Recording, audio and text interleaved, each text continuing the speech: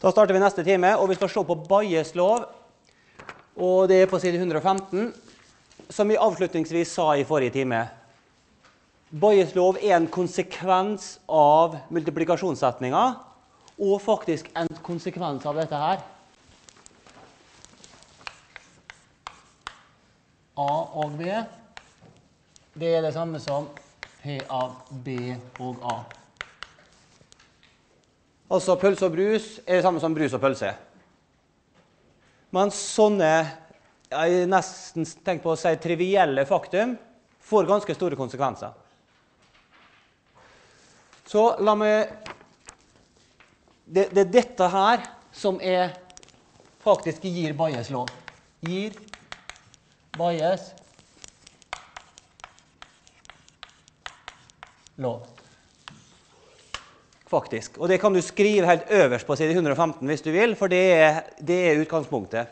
Så hvis dere skriver helt øverst på side 115 her oppe i hjørnet, så har du det som en huskeregel at eh, pølse og brus er lik brus og pølse. Ja, det er faktisk eh, grunnpilaren i Bayes lov. B og A er det samme som A og B. Pølse og brus er det samme som brus og pølse. Så kan vi skrive øverst på side 115 115. Det er bare som en huskeregel hvis vi, dere skulle komme bort til en situasjon der folk spør ja, hva er opphavet til Bayes lov. Hva er det som gjør at vi har Bayes lov? Jo, det er dette faktum her.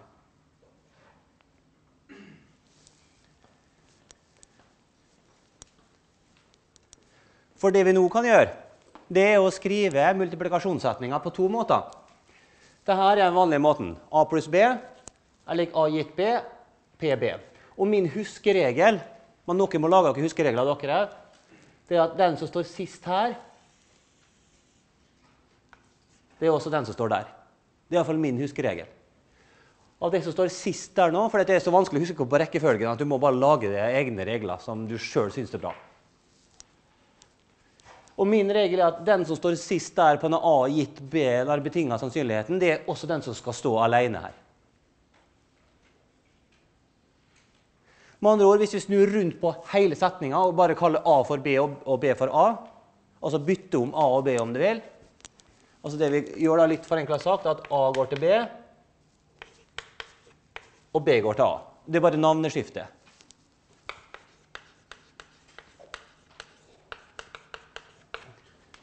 Så kan jeg også skrive denne her at jo, hvis vi bytter om dette er B og A, da skal det jo være slik alltid at det som står der bakerst, det er den som skal stå der. Så hvis det står A der, så må det stå A der. Slik at det eneste jeg har gjort her nå, er å bytte om rekkefølgen. Og kalle det A for B og B for A. Og det er lov. For kunne, kunne han kalt det her for C og D? Hvis det hadde blitt C og D, så hadde det her blitt eh, C, D og David. C, David, David. Det kunne jeg gjort. Men nå bruker jeg et OK. Siden P av A og B er lik P av B og A. Det var det vi sa. Pølse og brus er lik brus og pølse. Så bruker jeg A og B ja, men det er jo gitt ved denne. P av A gitt B gange den som står bakerst der.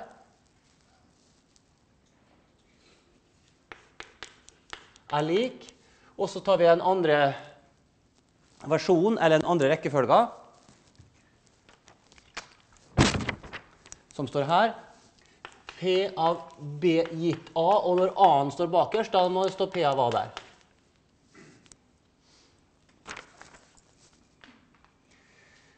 Det vi kan gjøre nå for å bare få bort denne kan, Det er lov å dele på begge sider. Så hvis vi deler på PB her, så må vi dele på PB på den sida her. Så det vi gjør på ene sida, må vi gjøre på andre. Og da ser vi at da strykes den, og vi står igjen bare med denne karen, som er P av A gitt B, er lik. Og så står vi igjen bare med den sida der, så skriver vi på den måten B av A ganger P av A, P av B.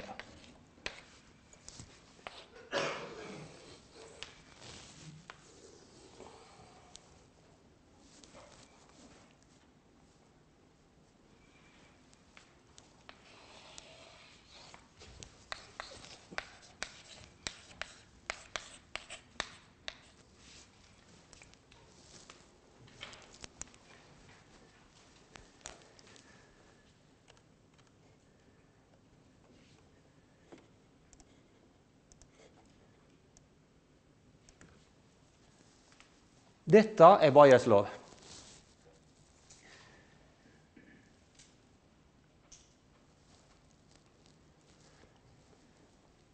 Det er så mange formler, og enda flere skal det bli, så vi er nødt å prøve å få en oversikt over formlene. Og som vi sa i pausen, ved hvert kapittel så skal vi ta en oversikt. En oversikt der vi tar romskip ut i verdensrommet og ser på det totale verdensbildet uten å se på alle detaljene, for det er mange av detaljer. Og detaljene det står i formelsamlinga, og det får dere med på, på, eksamen. Så det viktigste egenskapen dere har, er å kunne få se det store bildet. The big picture. Det er viktig. Men for å gjøre det så må vi forstå formelen. Selv om vi ikke husker formelen, så må vi forstå den. Og la oss se på den her. Det som er min huskeregel på det her, er at dersom vi vet A gitt B, altså dersom vi vet den ene veien, så kan vi bruke Bayes lov til å finne en andre. Med andre ord, gitt at vi vet at B gitt A La oss si at vi kjenner den der. Og siden den gitt betinga sannsynligheten var en av de ytterst få eksemplene som ikke følger den kommutative lov, altså der, her, der rekkefølgen faktisk betyr noe, den, her betyr det faktisk noe, og derfor så har vi Bayes lov, Iallfall kan vi bruke det som en huskeregel. Så betyr det at har vi den ene, så finner vi også den andre. Bayes lov gir sammenhengen mellom den ene og den andre betinga sannsynlighet. Så for reelle tall så har vi ingen analogi til Bayes lov. For det at eh, 7 ganger 3 er 3 ganger 7, så da litt tullete sagt, litt forenkla sagt, nesten som en huskeregel, det eksisterer ikke noe Bayes lov for reelle tall. Og det er fordi at det her er samme tingen. Det er ikke noe forskjell. Mens her er, det, her er det en forskjell, nemlig at A gitt B er ikke det samme som Hva har vi skrevet det her? Ja. P av A gitt B er generelt ikke det samme som B gitt A.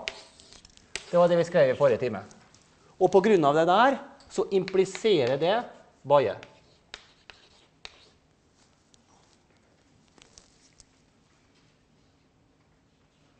Dette her er ikke samme tingen, men det er en sammenheng mellom dem. Har vi den ene, så greier vi å finne den andre, sjøl om de ikke er like. Og sammenhengen mellom de betinga sannsynligheter er Bayes lov.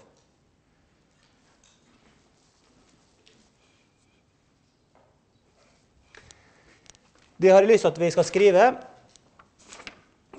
Slik at eh, hvis det går ut på side 115, så jeg ikke jeg skrevet det så eksplisitt. Noen kommentarer. Kan vi bare liste opp dette her? Noen kommentarer. Og det her står delvis i kompendiet, men vi kan slå opp på side 116, for der har vi så god plass. Alle slår på side 116. Der har vi så god plass. Så Hvis vi slår opp der, så har vi først et fint bilde. Det er faktisk, Jeg vet ikke hvor det er, i Kina eller hva verden er. Så er det så mye neonlys, så det er faktisk noen som har laga neonlys av Bayes lov. Så glad var de i den loven. Så om dette her er en bar eller hva det er et sted i verden, det husker jeg ikke. Men der er faktisk Bayes lov med neonlys utafor inngangspartiet til en butikk. Punkt 1. Kommentar 1 som står der. Bayes lov er bare en alternativ form av multiplikasjonssetninga. For du ser det her nå, det starta med multiplikasjonssetninga er liksom grunnlaget. For det at hvis dette er multiplikasjon, og der var startpunktet. Bayes lov? Lov er en alternativ skriver kortversjonen her, alternativ form av multiplikasjonssetninga.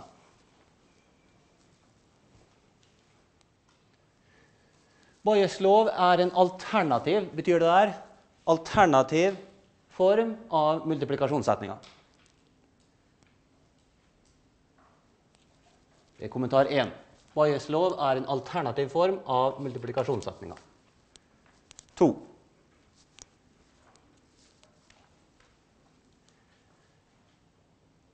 Og det her står ikke i kompendiet eh, annet enn implisitt. Og det vi kan skrive nå, er at Bayes lov eksisterer fordi disse ikke kommenterer, om du vil. Altså disse er ikke like. Hvis de hadde vært like, så vi, kan, vi sagt at da vi hatt en triviell Bayes lov, men den sofistikerte saken er droppa i. Så det betyr at Bayes lov Bayes lov er en konsekvens konsekvens av av at P av A gitt B ikke er det samme som P av B gitt A.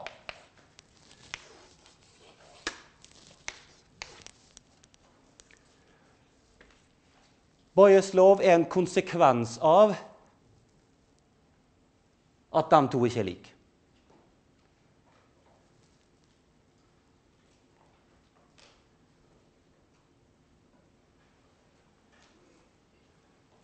Og hvis dere vil, da kan dere velge sjøl om dere vil skrive. Husk favoritter. Sju ganger tre eller tre ganger sju. Det er bare som en huskeregel. Du trenger ikke å skrive det der hvis du ikke vil. Men det er altså bare for å huske på at det å snu, snu om disse der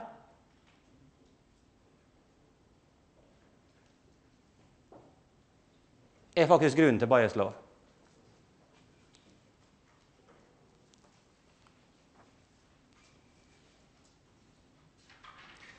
Det var kommentar to. Bayes lov er en konsekvens av at de to ikke er like. At de er ulike. Da får vi Bayes lov. Da tar vi neste.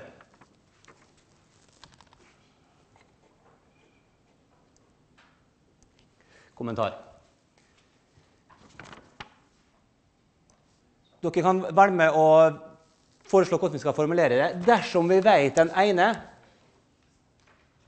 altså det her, så vet vi også den andre.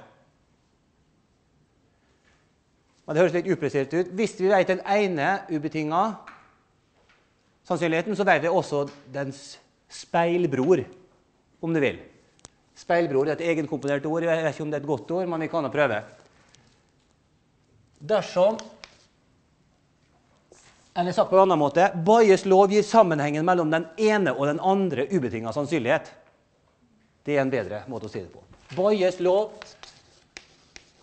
Bayes lov gir en sammenheng. Gir en sammenheng mellom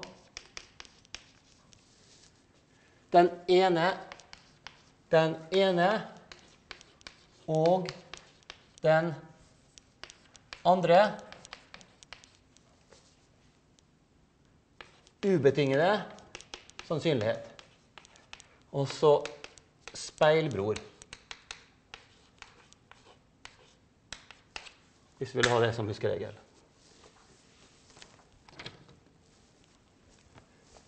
Bayes lov gir en sammenheng mellom den ene og den andre ubetinga sannsynligheten. Så har vi den ene, så finner vi den andre via Baye.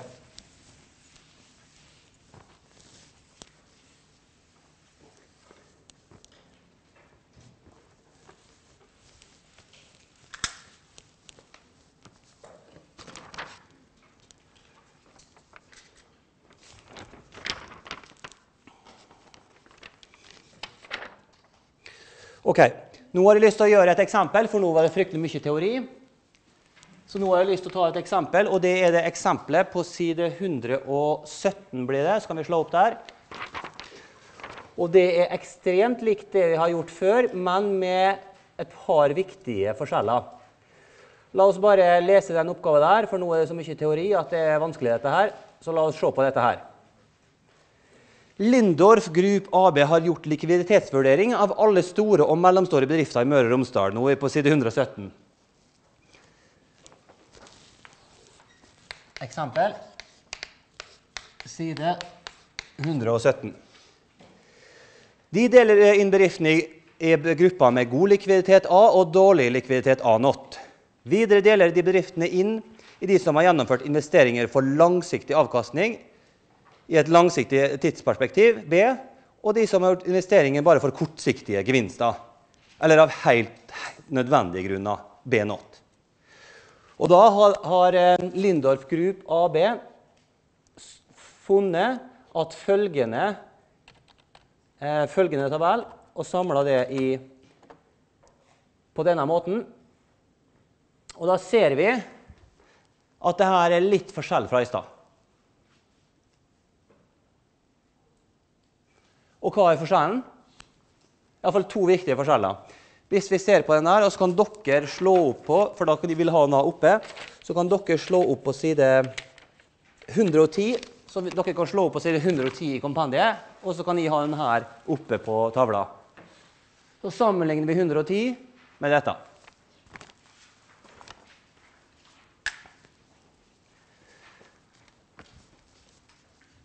Så la oss se på det. Hva er forskjellen? Det er to viktige forskjeller på side 110. Og den her, og jeg har lyst til at vi skal observere begge av dem. Hva er den første åpenbare forskjellen?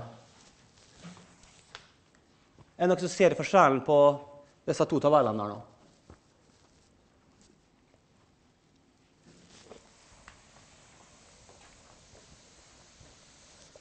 Det er i hvert fall to ting. Men la oss starte med den ene. Hva er forskjellene på disse to tabellene? Ja? Ja, det er riktig det ene. Vi har litt flere kategorier. For hvis vi nå tar og tar opp disse to der Hva var det, 110, var det Så ser vi da at her har vi bare her oppe har vi bare to kategorier. Mens på side 117 så hadde vi den B-kategorien der var litt fin inndelt igjen. Det er den ene forskjellen. At vi har litt flere kategorier. Så det er litt mer komplisert. Det er helt riktig. Det er den ene forskjellen. Så er det den andre forskjellen. Og hva er det?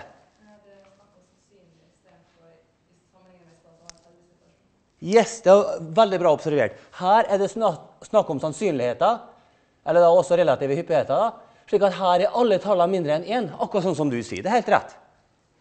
Men går vi tilbake igjen på 110 Så her var det tall. Her er jo alt større enn 1.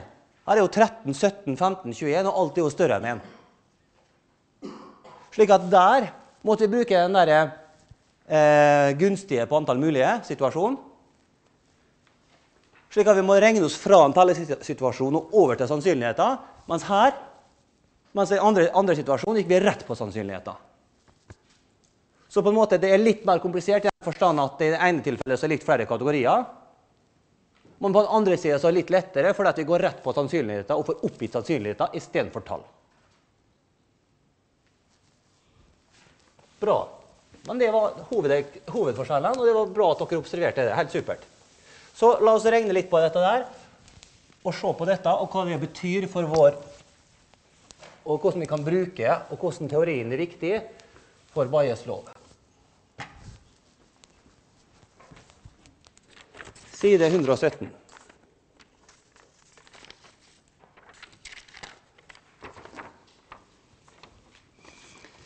Og da definerer vi oss disse to eh, begivenhetene. Eksempel. A er lik god likviditet. da skriver vi kort versjon. Og B er lik langsiktig investeringer. Jeg gidder ikke å skrive alle disse ordene der, for det er dette som er businessen, og det er viktig. God likviditet, langsiktig. At en tilfeldig valgt bedrift gjennomført lange investeringer og sånne ting, det er ikke så veldig nøye. Dette er nok for oss.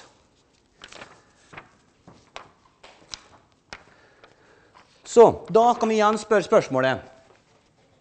Det er egentlig samme spørsmålet som i stad, så vi skal gjenta spørsmåla. Her ser vi Lindorf sitt hovedkontor. Jeg tror det er enten så er på Fornebu eller på Nydalen, jeg er usikker. Hva er sannsynligheten for at en tilfeldig valgt bedrift har god likviditet? Det er spørsmål A. Så vi i spørsmål A skal finne P av A. Oppgave A. Finn P av A. Det er altså en tilfeldig eh, valgt bedrift som har eh, god likviditet. Og alt egentlig står i tabellen.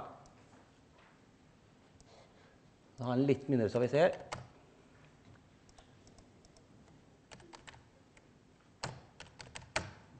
Oi sann.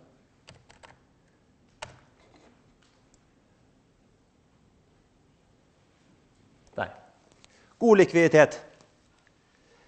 Og da spør jeg spørsmålet Er denne gruppa der en del av god likviditetsgruppa, ja eller nei? Ja. Er denne gruppa der en del av god likviditetsgruppa, ja eller nei? Denne? Denne? Ja. ja, det er riktig. Så det er disse tre der. Så PAA er bare å lese av 0,45 pluss 0,20 pluss 0,15. Summerer der og får 80 Du trenger ikke skrive prosentsene. 0,8 der er nok. Og to strek foran og to strek bak. Neste. Da er neste sannsynlighet Hva er sannsynligheten for en tilfeldig valgt bedrift gjør langsiktige investeringer? Og det er PHB. og det er igjen bare noe vi ser av tabellen. P av B, det er denne og denne. Right? For denne kategorien her nå, den er i langsiktige investeringer, og denne har også gjort langsiktige investeringer. Men vi ser at, hvis vi ser litt på tallene, da, det er ikke mange bedrifter med dårlig likviditet som gjør langsiktige investeringer. altså. Det er jammen ikke mange. Men OK. Det er 0,45 pluss 0,02, som er 0,47. Se. Og det er nå ting begynner å bli litt uh, artig, da. Da er neste spørsmål Vi skal finne en sannsynlighet. P.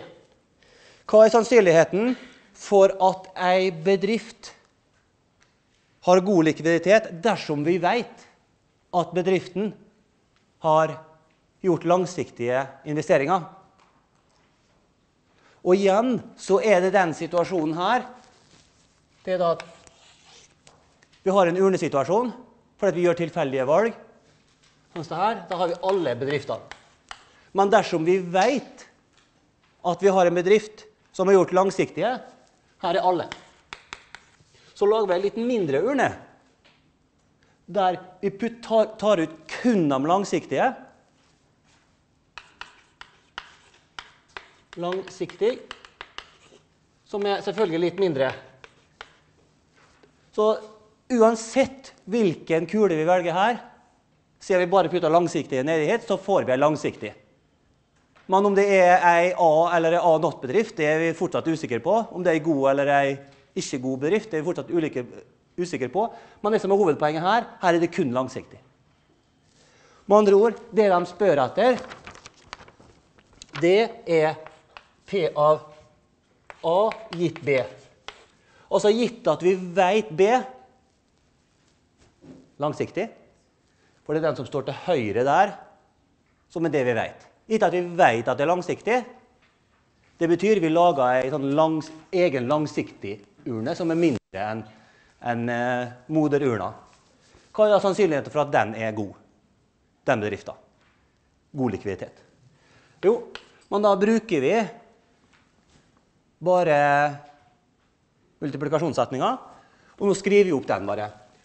P av A og B er lik P av A gitt B ganger P av B. Var det ikke sånn? Stemmer det? Det her Det her er multiplikasjonssetninga. Så det jeg kan gjøre nå, er å dele på PB på begge sider. Og da får jeg P av A gitt B delt på PB. Og det står igjen bare med en karen der. A gitt B.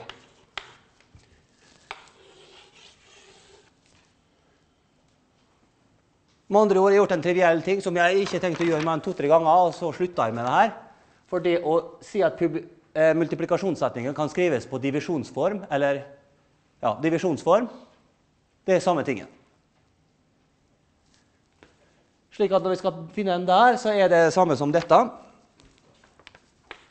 P av A og V delt på P av B. Og Da kan vi gå tilbake til tabellen. Hva som er A og B? da? Hvilken kategori her oppe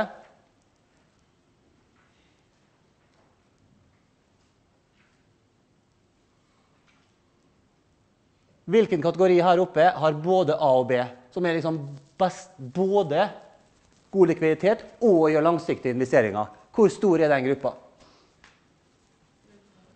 Det er 0,45, ja. Det er denne. Så det her er A og B. Den er 0,45.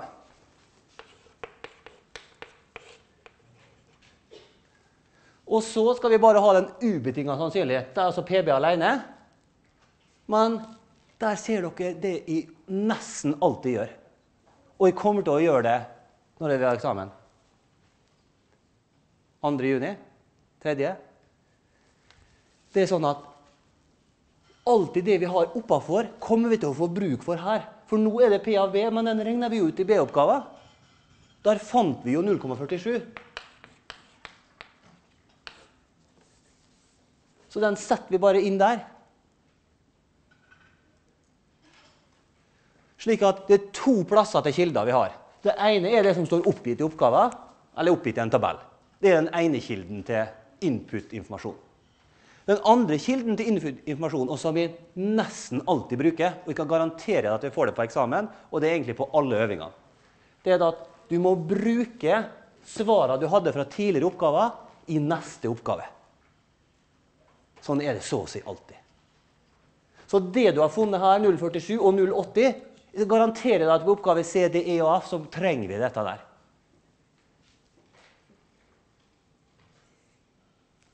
Vi gjør alt for en grunn. Og når vi setter inn det, så får vi 0,96. To strek foran og to strek bak.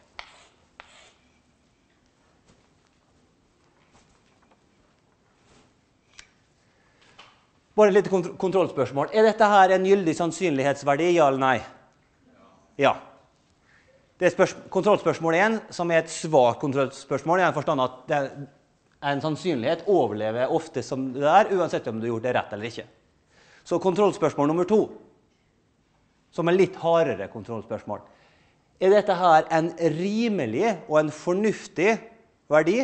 For det er jo 96 da, det er ikke 100 da, men det er jammen ikke langt unna. Er dette her en rimelig og fornuftig verdi? Eller hadde vi egentlig forventa oss at dette her var nærme null?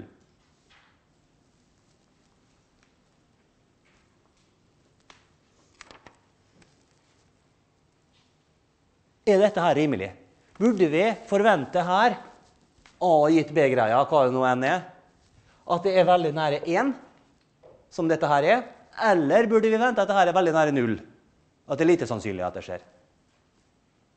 Hva forventer dere? Nært 1. Jeg gjør det. Hvorfor forventer du at denne A gitt B-greia er nært 1?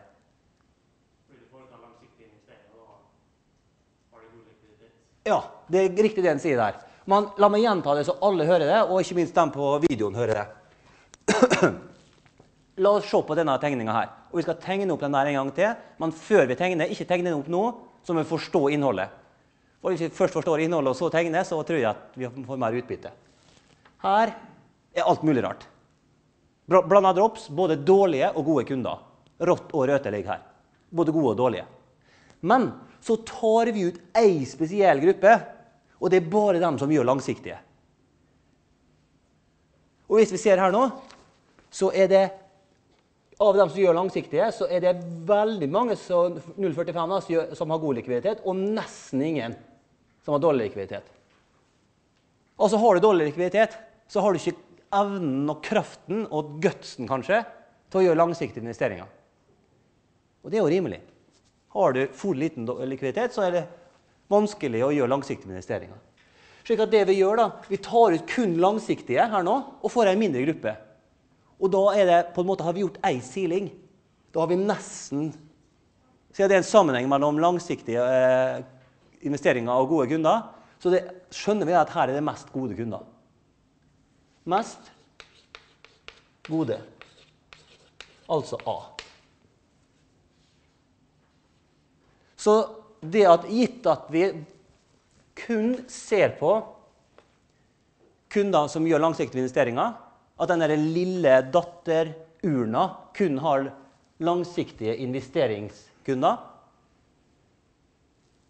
Hva er da sannsynligheten at når vi bare ser på den datterurna, at, er, at vi trekker en eh, bedrift som har eh, god likviditet? Jo, det er en stor sannsynlighet. Nær igjen. Så det er helt rett det du sa. Sånn må vi tenke.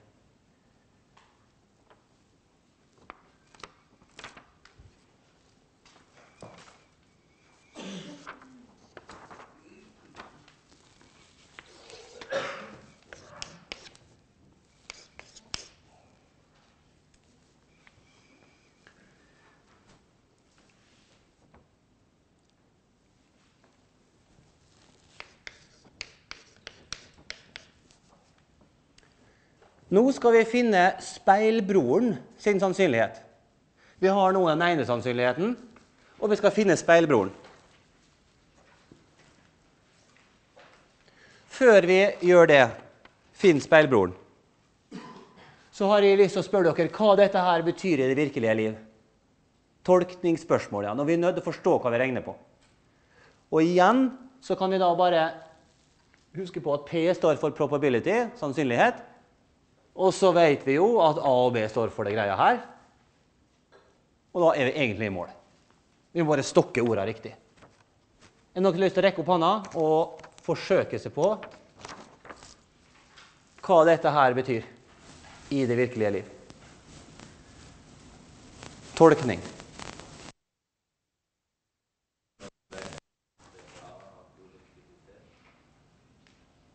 Ja, det syns jeg var riktig sagt. La meg prøve å gjenta det. Sannsynligheten for at når vi vet A, hva er da sannsynligheten for B? Og så setter vi inn for A og B.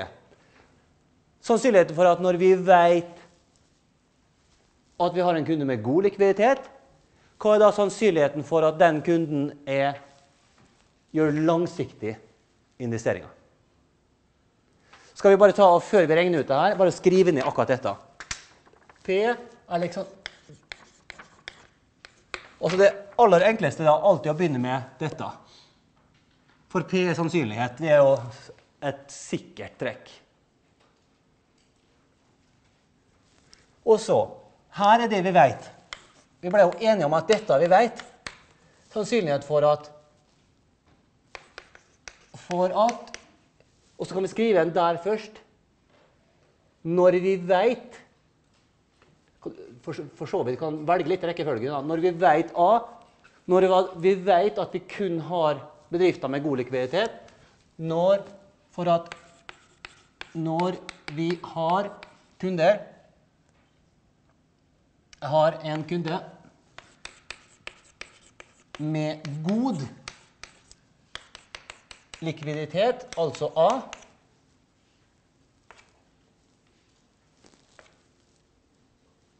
Når vi vet A, god likviditet, hva er sannsynligheten for B, langsiktige investeringer? For at når vi har en kunde med god likviditet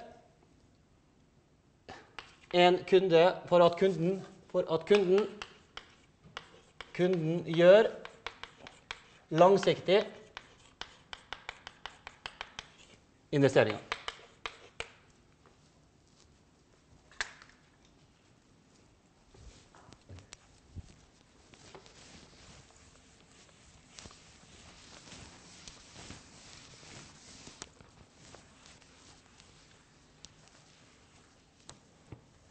La oss lese dette her en gang til. Sannsynligheten for at når vi vet A god likviditet, så skal vi finne sannsynligheten for at den kunden gjør langsiktig investering.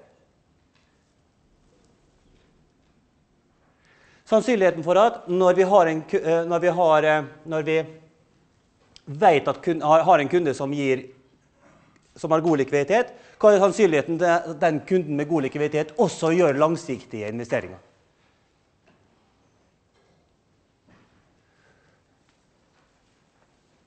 Og da kan vi begynne å regne på det her. P av B gitt A. Og da har jeg lyst til at dere skal løfte blikket fra kompendiet og fortelle meg i prinsipp, ikke i teknisk detalj, ikke noen formel, for så vidt, men bare si i prinsipp hvilke setninger vi skal bruke osv. for å finne denne. Gitt at vi vet det som står oppgitt i oppgave, Gitt at vi vet dette fra oppgave A, dette fra B og dette fra C. Hva er da sannsynligheten for å finne denne? Hvordan skal vi angripe den oppgaven der i prinsipp?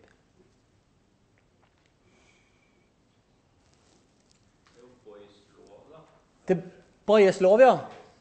Det er Bayes lov, det er helt rett. For vi sa jo det når vi viska ut dessverre, dessverre, at ett av de tre punktene vi sa i stad, at har vi den ene speilbroren Og det har vi jo her. Så finner jeg en andre med baie.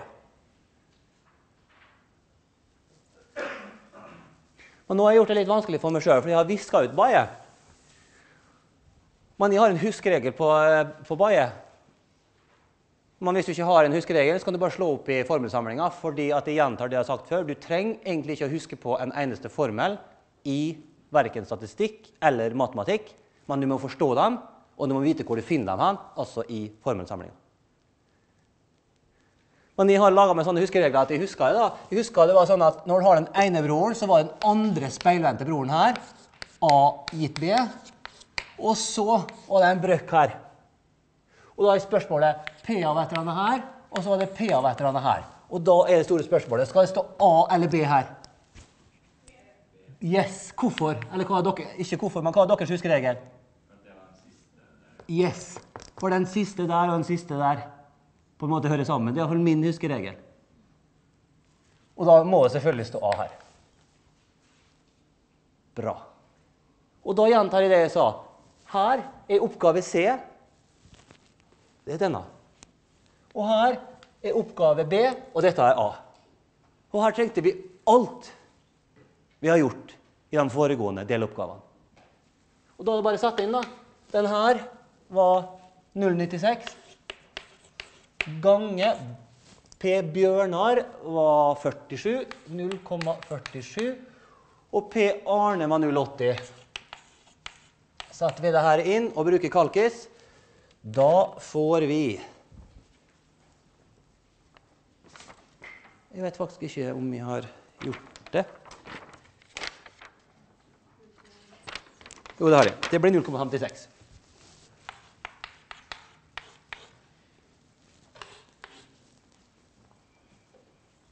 Det blir 0,56.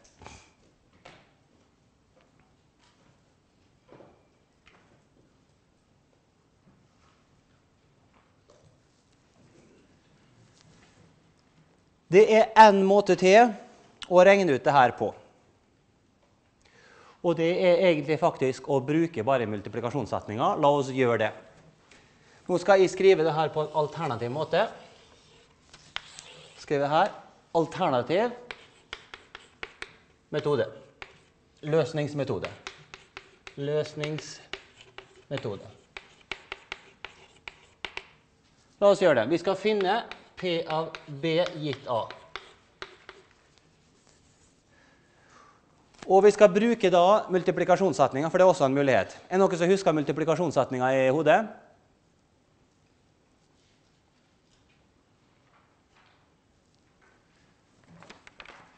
Skal vi, se, skal vi prøve å tenke oss det? Skal vi se hvordan jeg prøver å tenke? da? Hvis vi hadde P av Her er multiplikasjonssetninga. A og B, var det ikke det? Så var det iallfall et produkt av to ting. Er dere som husker hva det var produkt av? Det var òg, sant? Det var det første. For multiplikasjonssetninga, det er òg. Det er det ikke tvil om. Men hva det var produkt av? Ta det halvmatematiske versjonen først.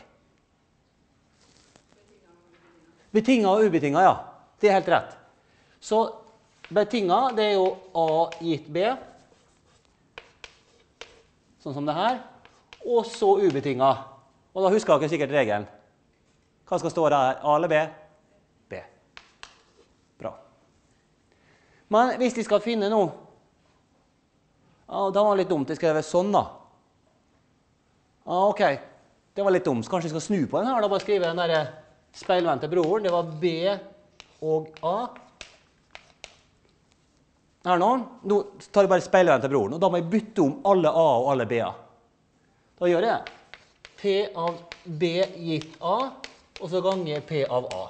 Du ser at det stemmer jo, for når det står A der, så står det A der. Så det eneste jeg har gjort, er å bytte om A og B.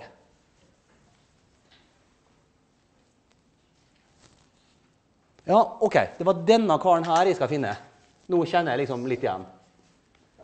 Så det jeg gjør, jeg deler den karen her Den tar jeg bare og deler på P av A. Ser du? For Hvis jeg deler den her på P av A, da står jeg med den alene. Og da får jeg òg sannsynligheten delt på PA. Altså P av B og A delt på PA.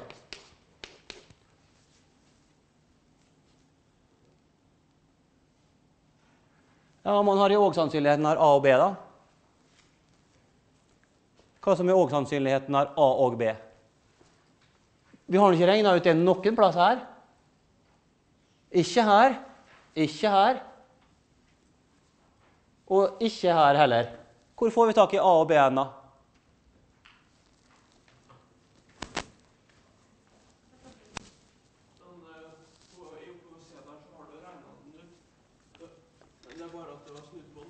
Ja, der står A riktig.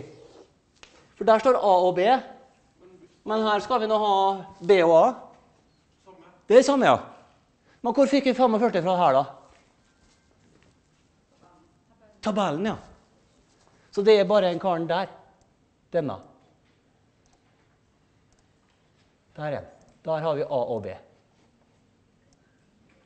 Ja, Nå ble det så stort at det er mulig å se. Der har vi A og B.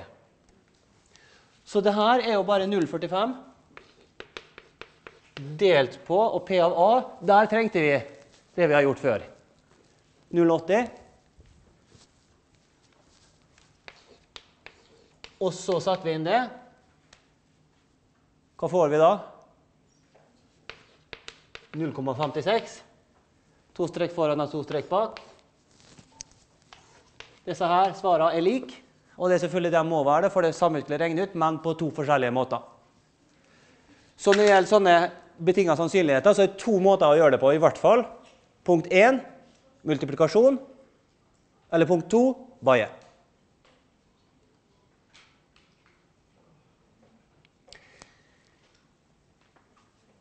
Husk på to ting. Jeg vil at dere skal se denne løsningsvideoen som vi har lagt ut på eh, Facebook-sida vår på Mat110. Den som var fra Du bare blar ned hit til alle Mat100-studenter. Det er den her. var bare ti minutter fra 29.1. Jeg vil at dere se den. Og så, i morgen fra to til fire, så er det forelesning. Da skal vi se på sannsynlighetstrær. Og Etterpå så blir jeg her sammen med øvingslærer og hjelper dere, så da tar vi oss en pause.